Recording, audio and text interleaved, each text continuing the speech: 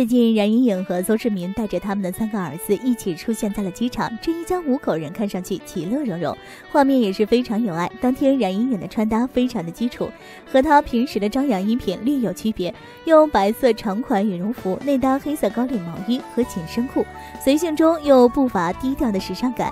邹市明身穿了一件迷彩款式的羽绒服，大家都知道迷彩元素是帅气和街头的象征，穿上这件羽绒服之后，邹市明也变得洋气。起来，内搭红色卫衣与运动裤后，也逐渐有点潮男范儿。三个儿子造型同样很有时尚感。最小的儿子被冉莹颖抱住，身穿了红色的羽绒服，满满都是俏皮感。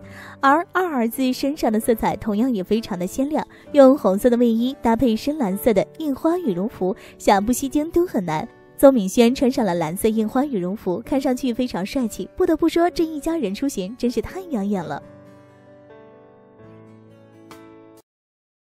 更多时尚资讯，欢迎订阅《时尚风向标》。